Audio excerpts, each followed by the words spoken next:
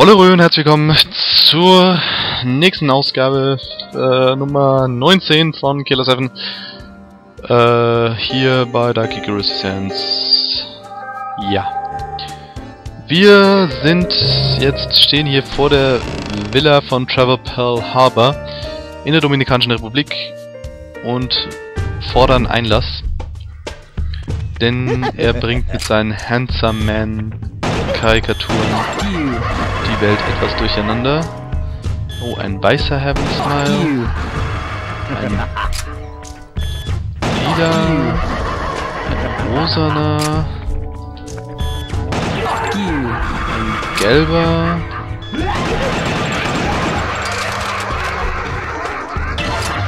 Äh, was weiß ich. Anscheinend die Farben der Handsome Man. Finde, das ist doch sehr eindeutig, was das hier darstellen soll. Aber wir kommen ohne Dan hier nicht durch.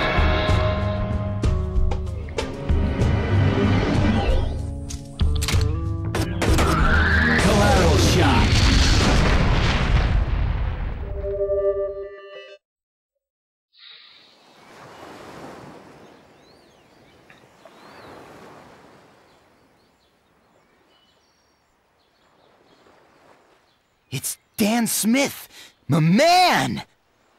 Yo, how's it going with next week's story, huh? Whoa, this is unbelievable. You really came? I didn't think I had such power. You're one lucky guy, you know that? Let me ask you, what happens to your prophecy if I shoot you right now? Oh, I already wrote it. I wrote the story, so you'll die. Hey, it's almost time for their appearance. The appearance of heroes! You better watch out. These handsome men are tough. Trust me, I know. Cause I wrote them. Kill Dan! Give him the old handsome wink stuff! Handsome wink!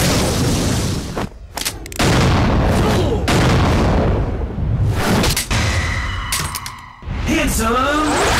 Get down! I suggest you don't get too involved. Unless, of course, you want to end up like this fellow here. You think you guys can kill me? I didn't know Killer 7 had a sense of humor. It's Showdown, Dan Smith. Here's a win!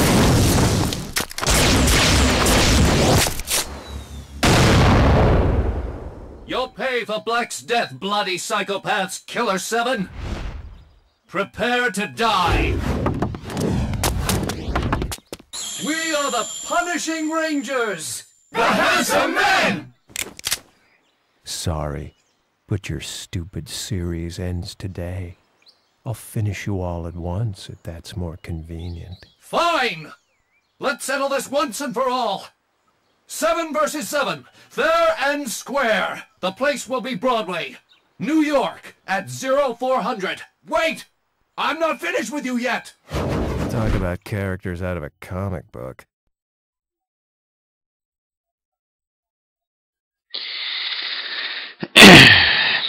Ja, so endet das Leben von Trevor Pearl Harbor und quasi der erste Absatz. Äh, der erste Teil von diesem Kapitel. Allerdings ist dieses Kapitel nicht so klar in zwei Teile geteilt, denn das ähm, Z- also das hier steht Teil 1 erledigt oder sonst was. Trotzdem kehren wir nochmal zurück zum Wohnwagen.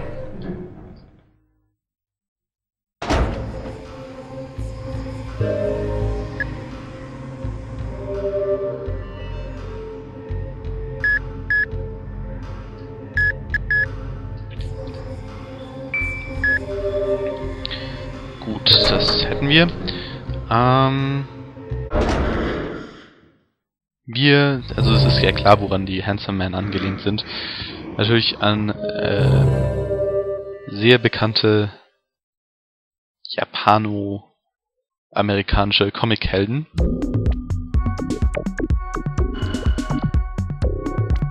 Habt ihr früher gerne Power Rangers gesehen? Ich weiß es nicht. Also ich, mir persönlich war das eigentlich immer ein Grund zum Abschalten, weil ich die Geschichten so doof fand. Ich habe natürlich ein paar äh, Folgen gesehen, aber Fan, besonderer Fan der Power Rangers war ich eigentlich. Das militärische Pad am Wolkenkratzer Broadway. Duell mit dem Handsome Man, dem anonymen Bestrafungskommando. Eigentlich sollten es die Handsome Man sein, also mit E.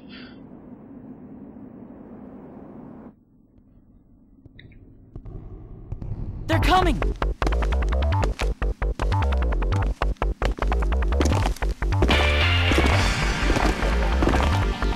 Wow! It's the handsome man! Awesome!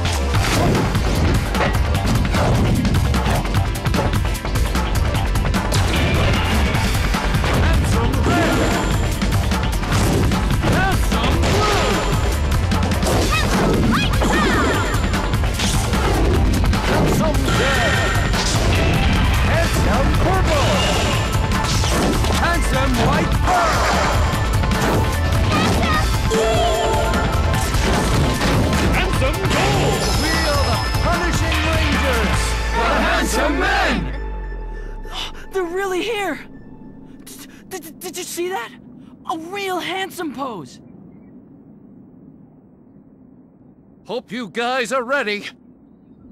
I must say, to decide where you will die is a gallant act. Fitting for the Killer 7, don't you think? I think that's enough chit chat. Shall we begin? Why not? I've got the ultimate cards matched up. Let's get it on!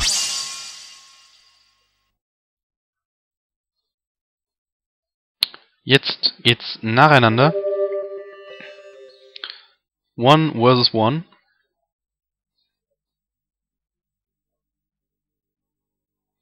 Wir fangen an mit Harmon Smith. First matchup, Harmon Smith versus Handsome Red. Hajime, Hajime.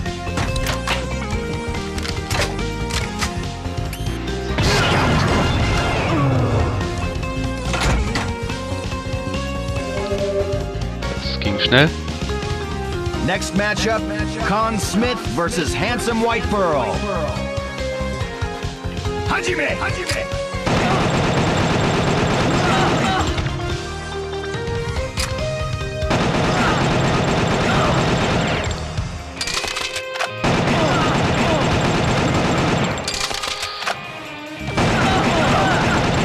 Leider nicht zum Aufladen.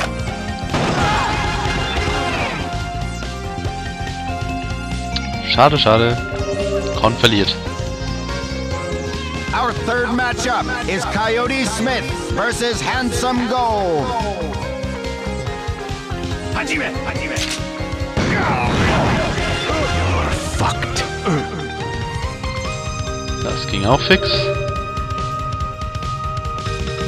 Fourth matchup, Coyote Smith versus Handsome Light Brown. Hajime, Hajime.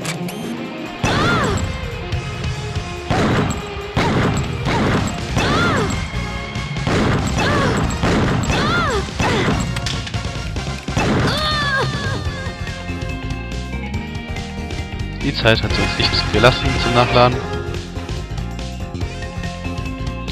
Es wird spannend. 2 zu 2.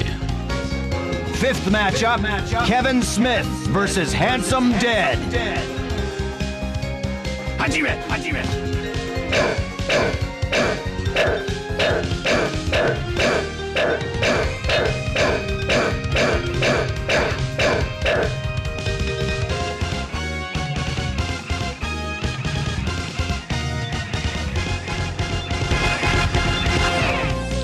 Zuckt jemand.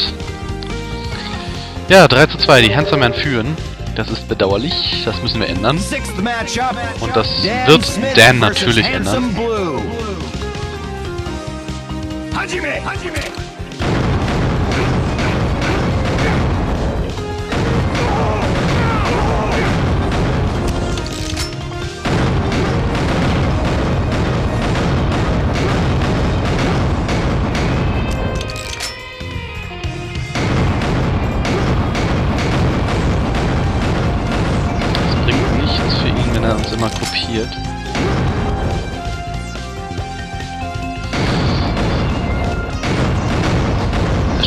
Wenn wir schießen. Interessant.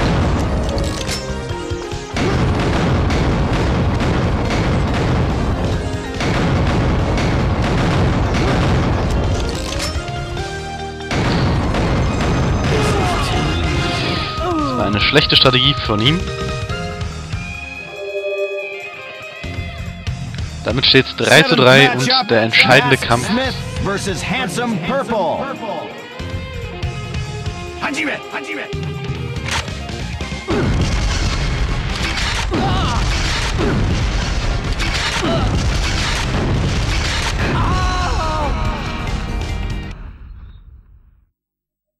Schade, schade. Damit ist es aus. Doch was ist das? Wir kommen in ultimativerer Rüstung zurück.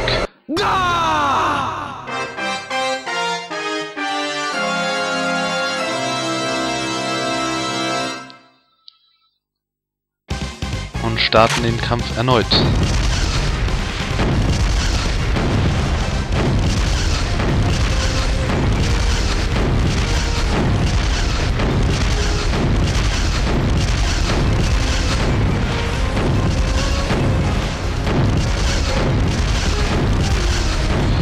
Warum nicht mal groß nachladen? Eigentlich brauchen wir überhaupt nicht mehr nachladen, wie es aussieht.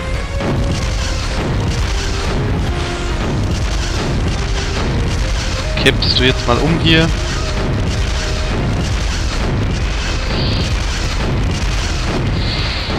Ah, Ja, etwas ermüdend für den Daumen.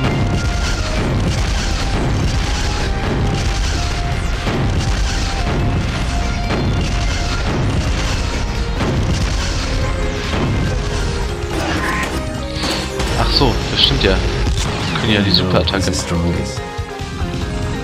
bin etwas bescheuert.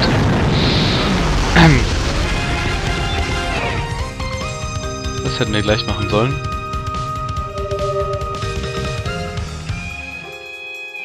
Final matchup.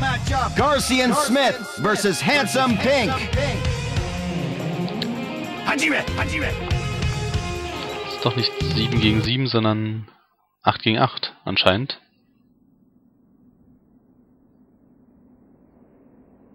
The girl's an avid gamer.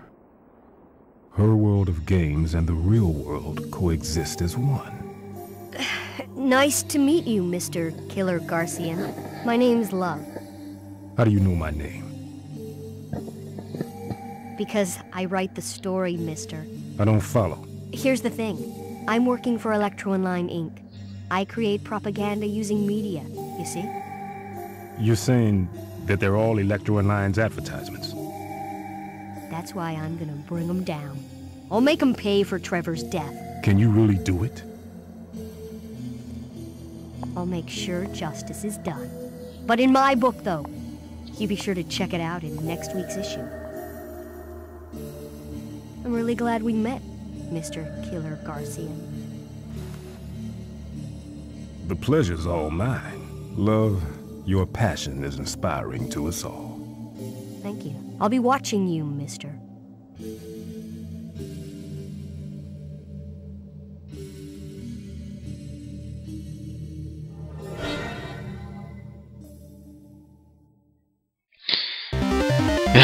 Es wird so langsam abgedreht.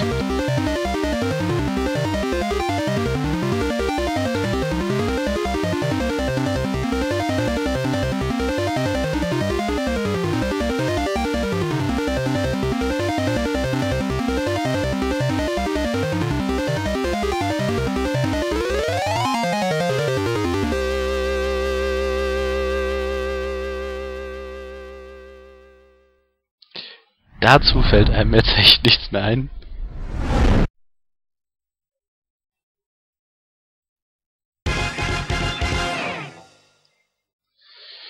Also, wir haben das Kapitel erledigt. Endlich! Dann können wir direkt mit dem nächsten Kapitel starten. Wir haben noch genug Zeit. Wir haben gar nicht so viele Heaven Smiles getötet in diesem Kapitel. Oder 76, 86, noch 86 sind's. War auch ein kurzes Kapitel. Öffne dein Herz und zeige uns dein Lächeln.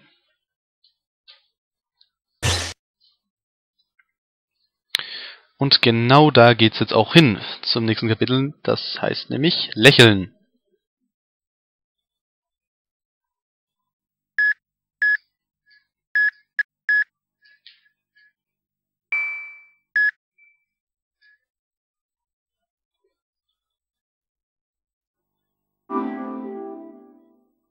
Und man sieht, es ist ganz unten.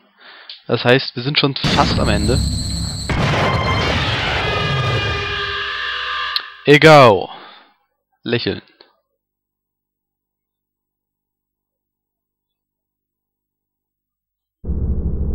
Beziehungsweise eigentlich heißt es lachendes Gesicht, wörtlich.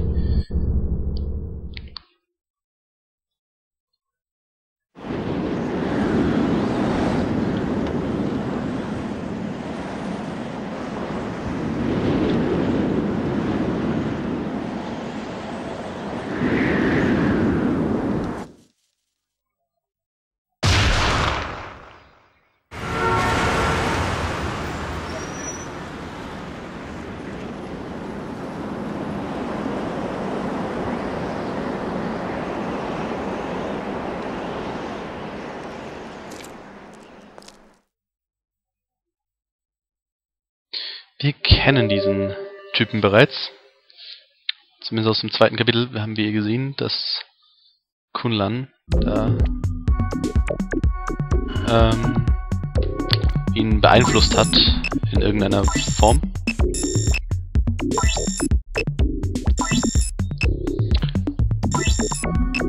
Mal schauen, was unser nächster Auftrag wird. Wahrscheinlich er selbst.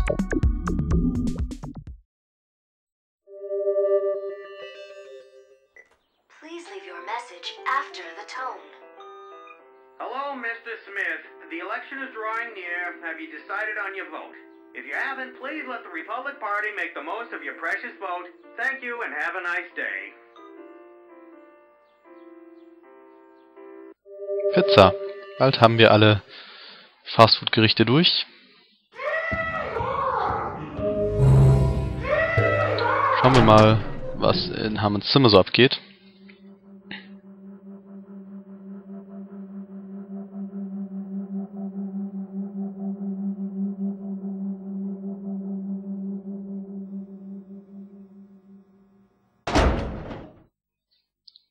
Oh, das ist, ähm, wie heißt er so schön? Unfortunate.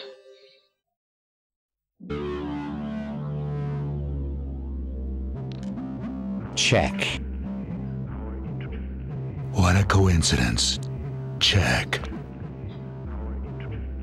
This time, the game is mine.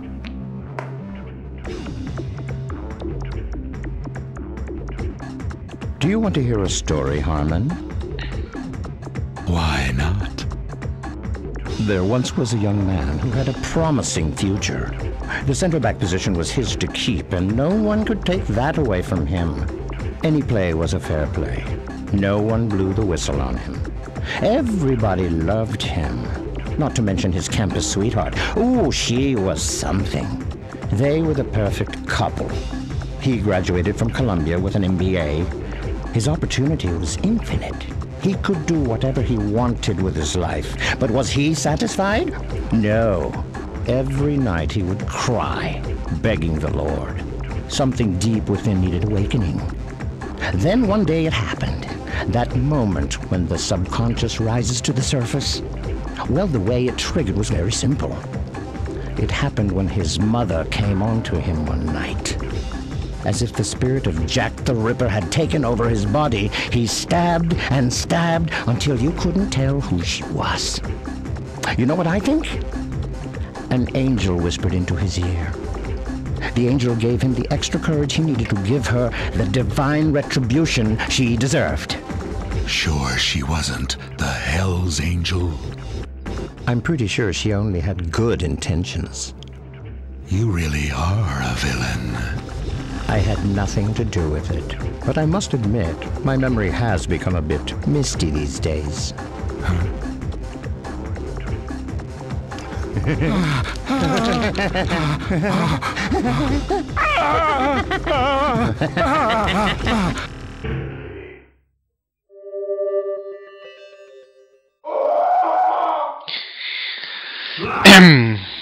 Dies sind sehr interessante Dialoge auch, also abgesehen davon, dass es alles irre ist, was hier passiert, solltet ihr wirklich äh, ein wenig miträtseln und das Ganze in die Story einordnen. Es lohnt sich.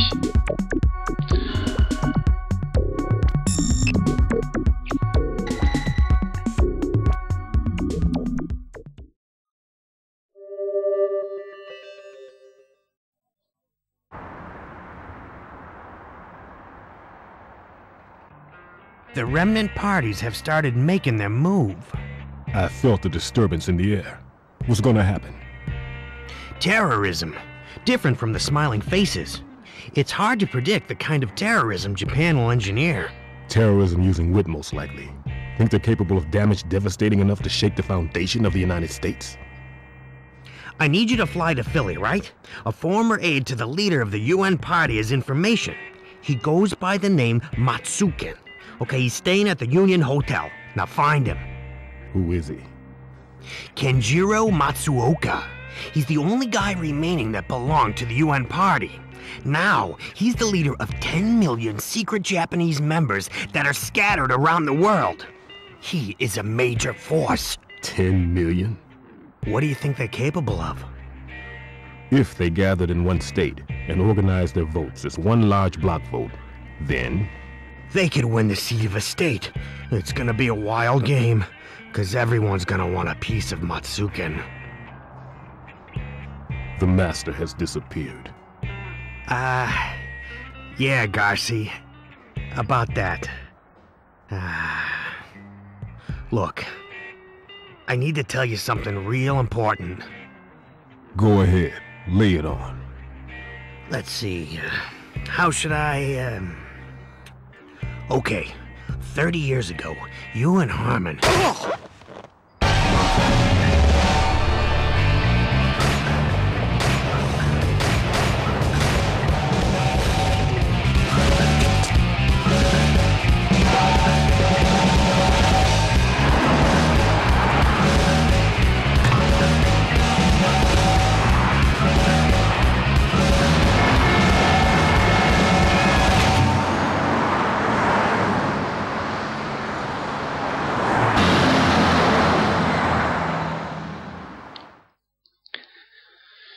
Ereignisse überschlagen sich, aber ich meine, es geht ja auch so langsam auf den Showdown zu. Also Samantha ist tot, Mills ist tot. So wie es aussieht. Schlecht.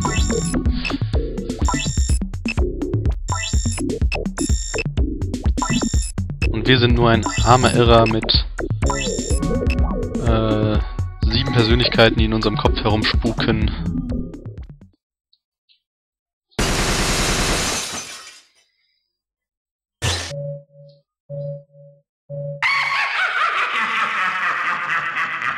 Matsuoka Kenjiros heimes, geheimes Treffen mit den Vereinten Nationen. Das wollen wir verhindern. Im Union Hotel.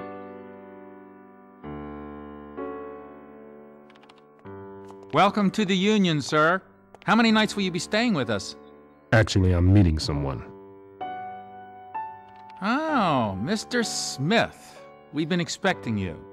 The top floor. Please use the elevator in the back. How do you know my name? I remember all the faces of our guests. Even your bag, sir.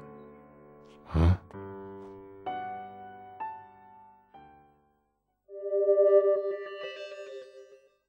Das war strange. Gruselig, gruselig. Mit wem hat er geredet? So langsam zweifeln wir an unserem eigenen Verstand.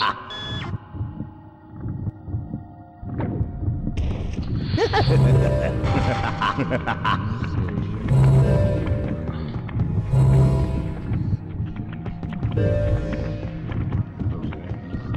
müssen einfach nur hier vorbei. Weil mit, ähm... Ah, wir haben den jetzt den Verwalter. Der kümmert sich um alles. Later. Wir haben alle Persönlichkeiten von vornherein verfügbar. Das ist sehr praktisch.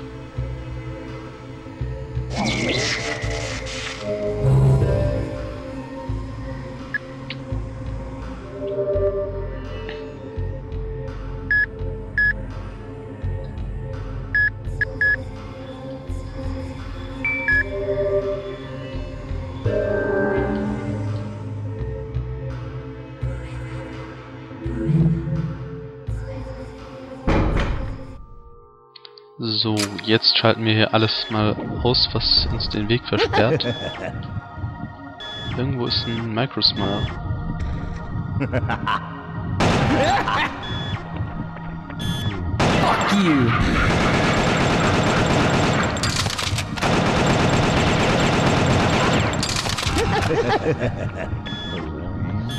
Fuck you.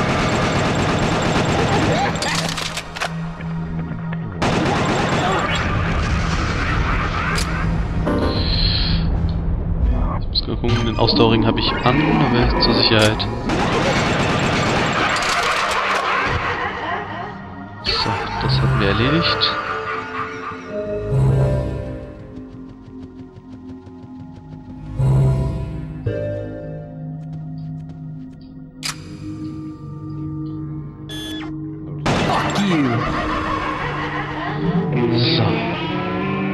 Da ist eine Barriere im Weg. Wir Kaede natürlich.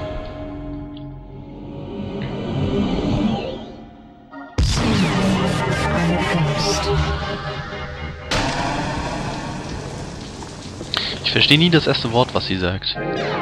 Wo sie sagt, I'm a ghost.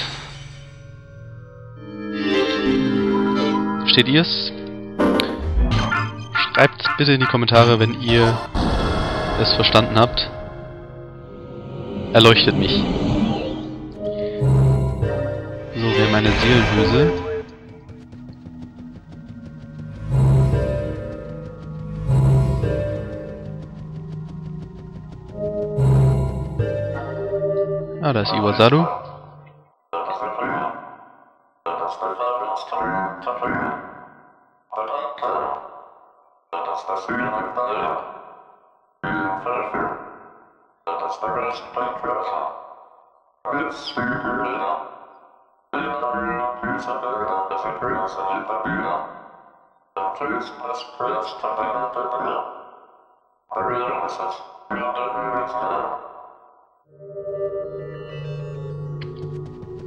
Was er wohl damit meinte.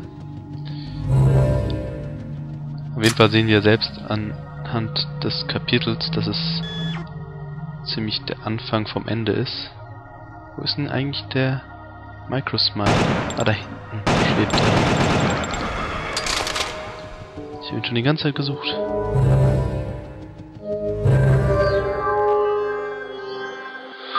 Arbeiten wir uns langsam voran. Stockwerk Nummer 2.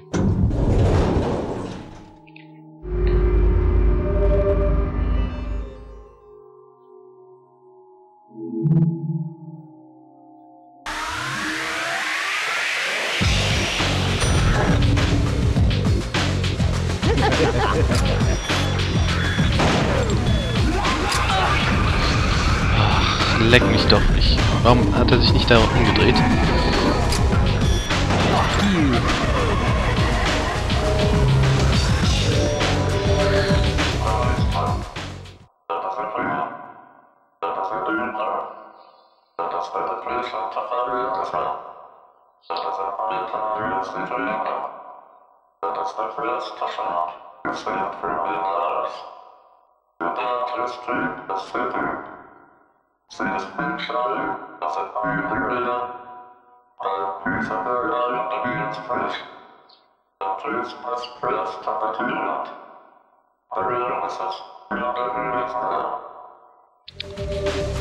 Das werden wir.